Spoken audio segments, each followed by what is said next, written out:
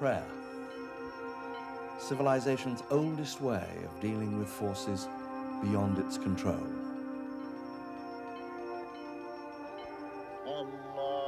Of beseeching a hostile and difficult world to let this bit of mortality survive, transcend, perhaps even prosper.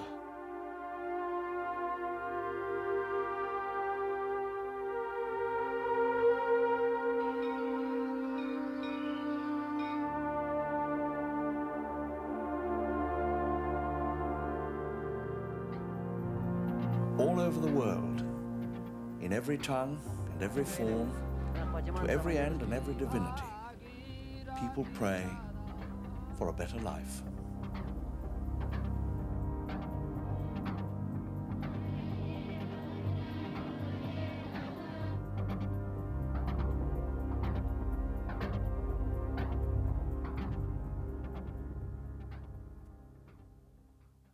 800 million people all over the world who have been sucked into the whirlpool of absolute, irreversible poverty, prayer has never been enough. They live on the margin of that bottomless vortex of never enough. The boats of their lives are daily dragged to the very edge of subsistence by a tide of hunger and thirst, illiteracy and disease.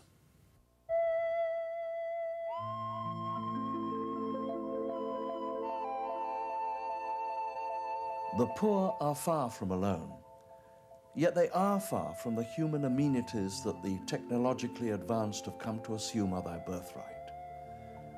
The poor are nearly all isolated, rural. The water they must drink is wearying miles away, and the search for it sucks dry much of the lives of their women and children. Malnutrition is commonplace, yet the medical care and basic education that might mitigate it are nearly non existent. Powerless in the face of political and economic upheavals, the rural poor provide an endless supply of the world's refugees. Often their only employment is the pursuit of another day on earth, of subsistence on the most ragged fringe of human decency.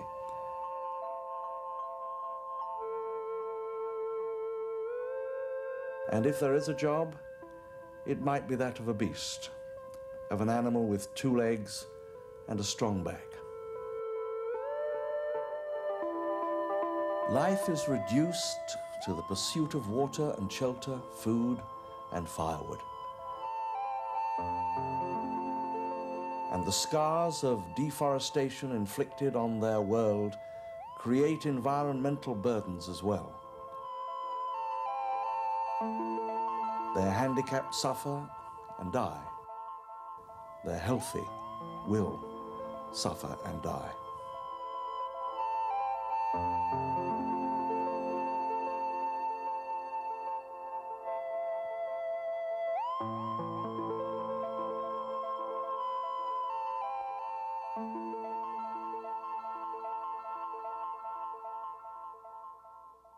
It is the rural poor all over the world, in the developed nations as well as the developing, who carry the staggering weight of the world's have nots.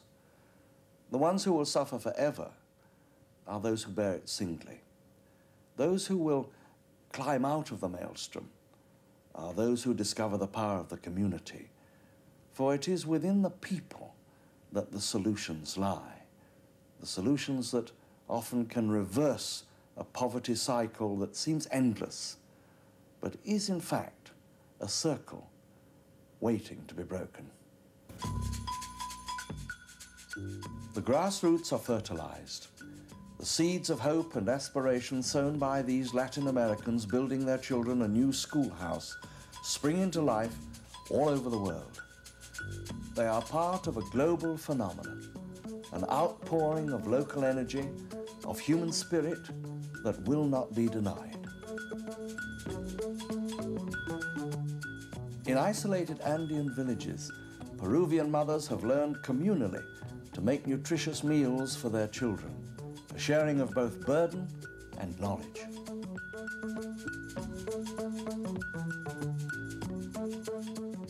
Abysmal sanitation has killed millions and left countless more debilitated. But the principles of disease transmission are beginning to be understood by those affected, like these Filipinos building their village a rudimentary but effective latrine. A community health project stocks a malaria-filled lake with fish that feed on the mosquito larvae.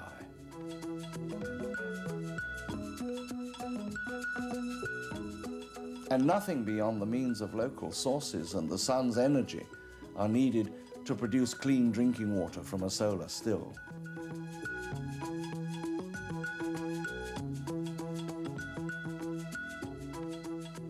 In Bangladesh, villagers drill their own wells by hand, using old-fashioned but effective sandpoint bits. And a local industry is born to cast parts for the pumps. Tanzanians turn out by the hundreds to dig a 240 kilometer water pipeline, each village along the route doing its part. It's too late to prevent her polio, but its crippling is eased by available technology. Newspaper for leg braces, and the village carpenter's contribution of exercise bars.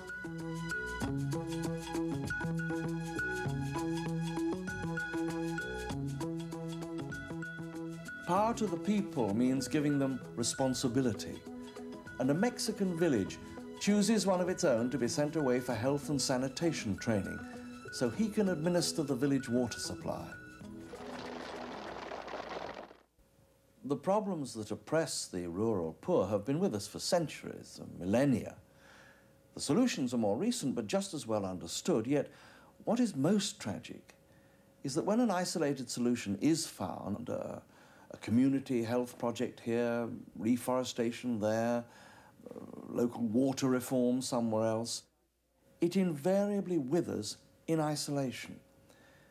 A solution that is born unheard that lives and dies unheard is itself part of the ultimate global problem. But now there is an answer to the question, how do we share the solutions? For the first time, an established global program for people who want to practice peace by making war on poverty.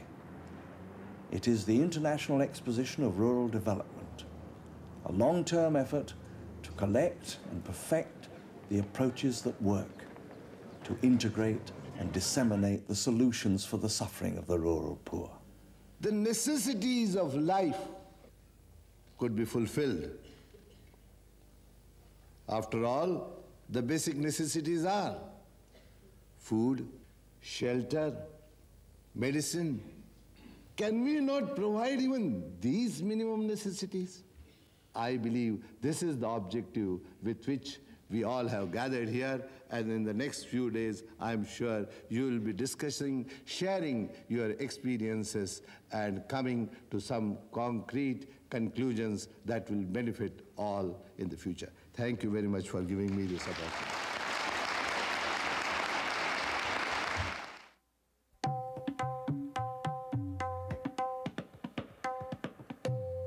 Recently, 660 people from 55 nations, fully 75% themselves grassroots organizers and project workers, gathered in New Delhi for the midpoint plenary event of the exposition to share both answers and questions. You know, the world is opening up. These are fairly isolated people, and they've always felt the problems they had were theirs alone. Now we're telling them, look here, this is our world too, and we're all part of it.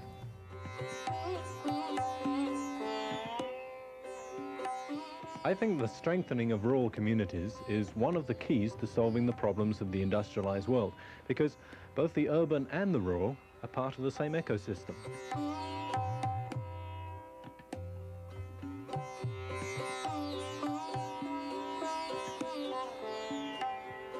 We took the technical information from some of those people who stayed and lived in our community, built a new building and started a new industry. Already the exposition's computerized database contains information on more than 2,000 projects in 60 nations, an energy resource that ultimately may prove more powerful than any fuel.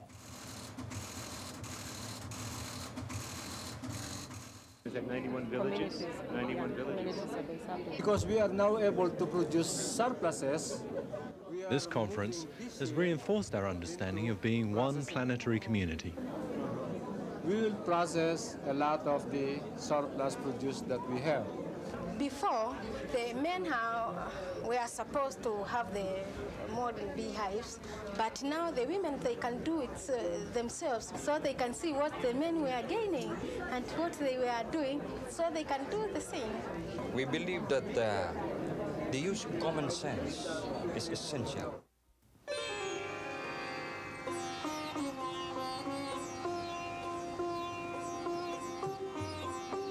The principles that are discussed in the conference hall and workshops are compared with reality during 30 field trips made by delegate teams to successful projects in rural India.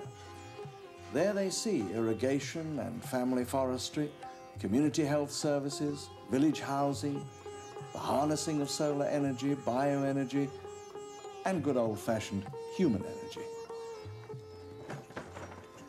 These events are catalyzing rural development worldwide, and it's time to share that with our own communities because most of them don't realize they're having an effect on the whole world.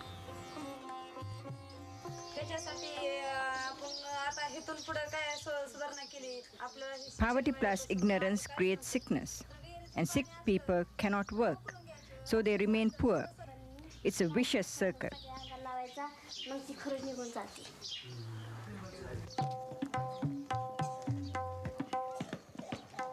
You have to involve the population. You must ask people what they want, what they really need, and build it with the population. If you just show up and give them something, you've wasted your time and your money. The Farmers Club thought that there should be a good open well quite close to the village. Wherever there is a good spot, they put in irrigation wells. The village people have collected the money and they have bought the pump as well as the pipes.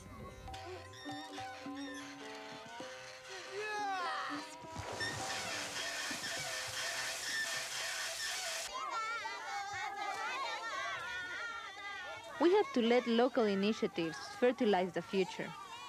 So we must switch from blueprint solutions imposed from outside to a greenhouse approach, nurture from within. We have to let the grassroots grow.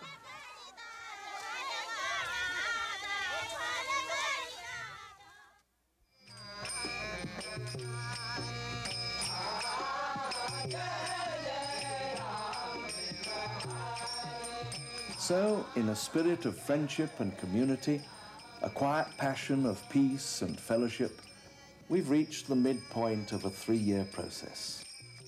The real work of this movement has just begun, but the well of enthusiasm is already overflowing.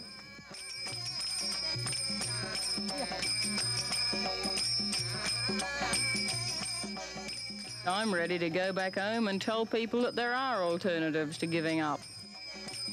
Let's go for it. We've got to let the world know what we have seen here during these 10 days. Perhaps we're halfway to the beginning of the end of rural poverty. Perhaps we're witnesses to the birth of a global phenomenon. We've heard the people say we are ready. Ready to share in a constructive global partnership with renewed commitment and the courage to care.